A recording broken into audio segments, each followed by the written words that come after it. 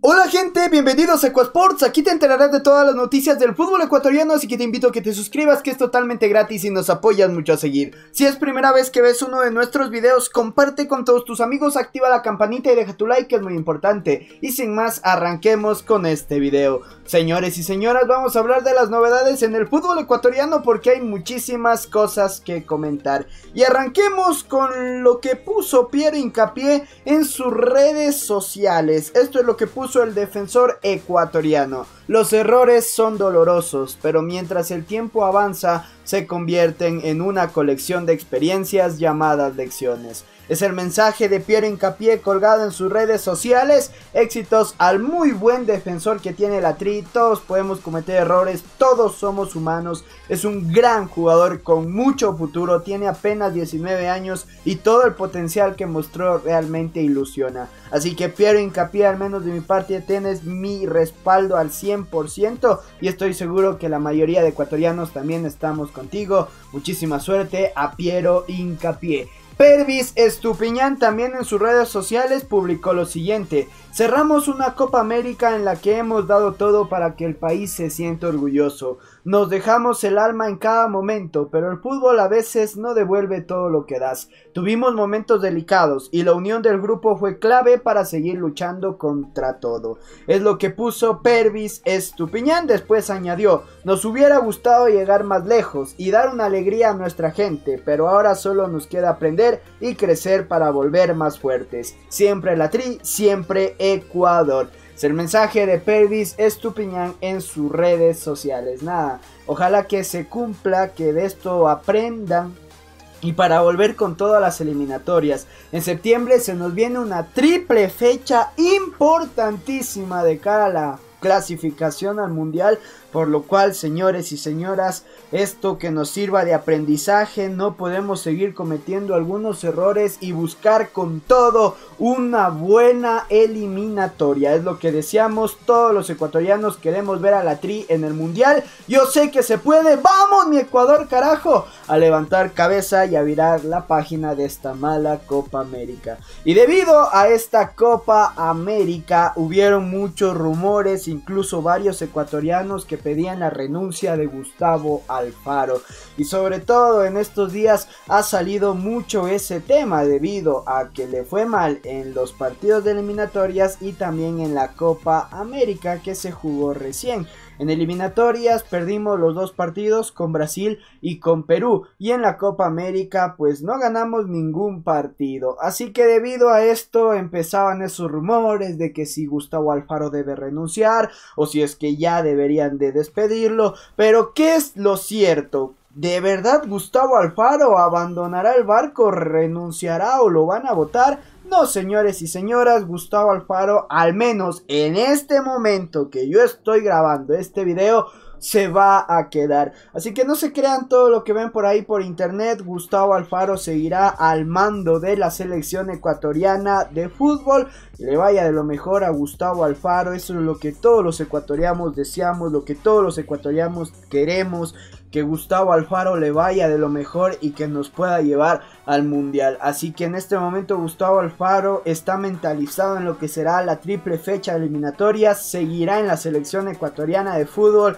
Todo ese rumor de una posible renuncia del profe Alfaro es humo. Gustavo Alfaro se queda en la tri. Dejamos a un lado el tema de la selección y hablemos ya de equipos ecuatorianos porque el DT de Melec rechazó a Flamengo por continuar en el bombillo. Ismael Rescalvo, director del club Sport Emelec, reveló que Flamengo de Brasil sí mostró interés por su cuerpo técnico cuando el Mengao se quedó sin DT. En diálogo con Play FM en el programa El Team, el entrenador dijo, hubo un acercamiento con nuestra gente, nos llamaron, pero le dijimos que no. Respecto al por qué, el profesor español mencionó, porque teníamos contrato en Emelec, nos sentíamos bien y queremos llevar al club a donde se merece, a ser campeón. Son las declaraciones de Ismael Rescalvo que confirma que Flamengo los quiso, que mostraron interés por su cuerpo técnico, pero que ellos le dijeron que no, que ellos lo rechazaron por seguir en el club Sport Emelec. Palabras del propio DT Ismael Rescalvo en una entrevista. Así que, ¿qué opinas de todo esto, señores y señoras? Te estoy leyendo acá abajo en los comentarios, pero esto es lo que dijo el DT del bombillo. Ahora hablemos de Independiente del Valle porque ya podrá usar su estadio para la Copa Sudamericana. La Comebol informó que el juego entre Independiente del Valle y Red Bull Bragantino por los octavos de final ida de la Comebol Sudamericana ha cambiado de escenario de disputa.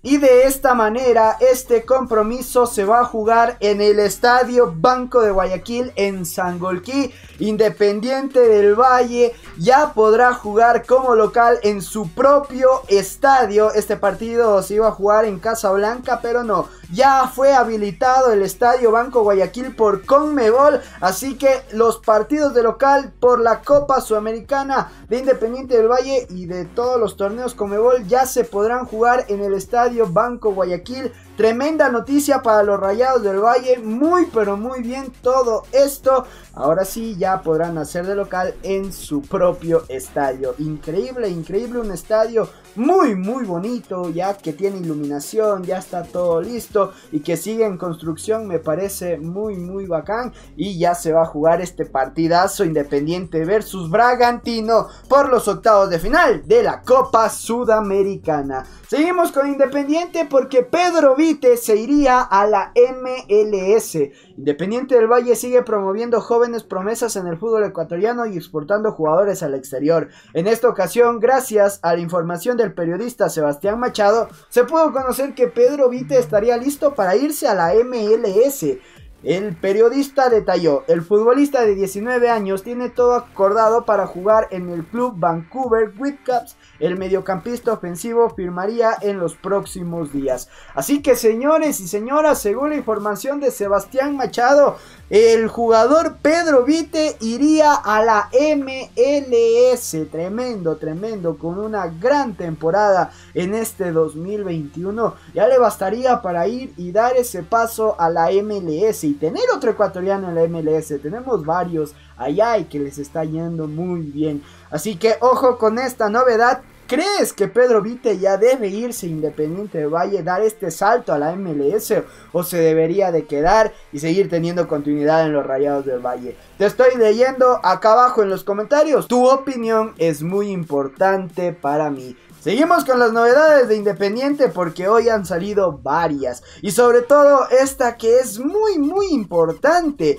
Quique Saverio buscado por Independiente del Valle. Tras su carrera en España, el volante ecuatoriano Quique Saverio podría tener su primera experiencia en el fútbol local. Y es que según algunos medios locales, el jugador ya recibió la oferta de uno de los grandes de nuestro país, a la espera de definir si acepta o encuentra un club en el exterior. Independiente del Valle sería el club que intentará repatriar a Saverio, quien quedó libre hace algunas semanas tras no ser comprado por el Andorra. Su pase le pertenece a los Asuna B, pero no está claro si será tomado en cuenta o no. Así que señores, ojo con esta noticia. Según lo que han informado varios medios ecuatorianos, Independiente del Valle ya habría acercado una oferta formal a Quique Saverio. Así que será que lo vemos por acá en el Ecuador al gran jugador Quique Saverio. Sería tremendo, sería un fichajazo y con eso Independiente del Valle rompería el mercado sin ninguna duda.